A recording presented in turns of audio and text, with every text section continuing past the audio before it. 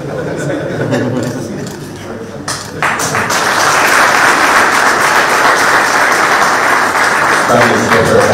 sport, c'est très important pour euh, ce que nous vivons. D'abord, à travers le sport, je sais que beaucoup de jeunes ne peuvent plus se lancer dans certaines pratiques qui détruisent notre jeunesse. Un bon sportif tel que vous voyez souvent certains phénomènes tels que l'alcool, la drogue et autres, vous ne pouvez pas vous lancer dedans puisque vous ne pouvez pas être de bons sportifs avec. Voilà pourquoi nous encourageons la pratique.